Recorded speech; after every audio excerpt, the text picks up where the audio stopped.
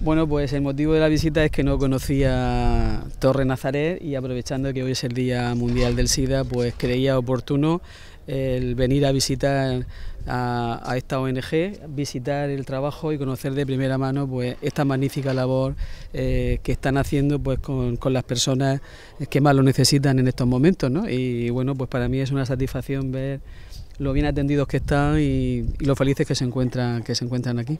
¿Cuántas personas hay aquí? Pues ahora mismo 20.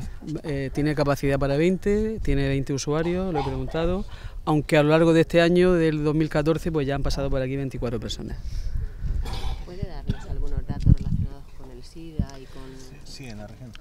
Bueno, pues... Eh, Hoy que celebramos el Día Mundial del SIDA, pues el lema de la campaña es que no nos olvidemos de que existe y que por lo tanto tomemos las precauciones adecuadas, porque en la región de Murcia el número de casos de SIDA se da precisamente en las relaciones heterosexuales, donde no se pone en medio a la hora de, personas que tengan puedan tener cierto riesgo de padecer el SIDA. Y por lo tanto lo que hay que hacer es eh, no bajar la guardia y sobre todo pues en las personas a partir de los 30, 40 años eh, que practiquen mm, el sexo que no sea seguro, pues que utilicen preservativos y que utilicen todos los medios a su alcance para para, que no se contagien y para que luego no lo transmitan a otras personas.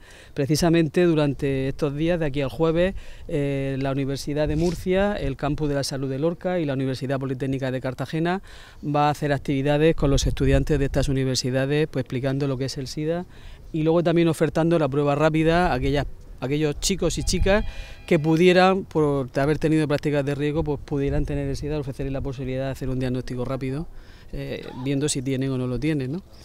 El funcionamiento del centro va bien, está distribuido por equipos, está el equipo sanitario, hay varios enfermeros, auxiliares, cuidadores, luego está el fisioterapeuta que pertenece al equipo educativo junto con la trabajadora social y con la psicóloga. Y luego está pues la gente de servicios, de cocina, limpieza, mantenimiento y luego pues todos los voluntarios de la fundación y el patronato de la fundación.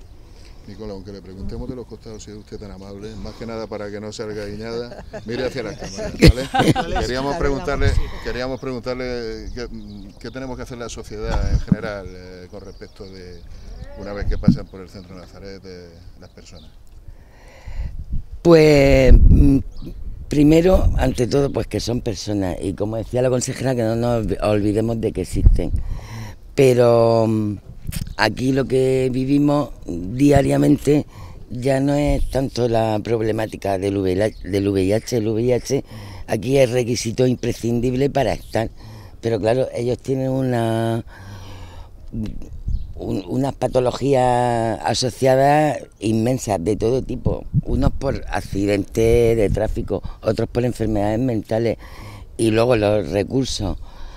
No tienen recursos, no tienen familia, no tienen nada, a veces bien, la mayoría de las veces todos ingresan aquí, que vienen con la ambulancia del hospital y el pijama nada más, y entonces ser consciente de que esa realidad existe en Cartagena y en la región.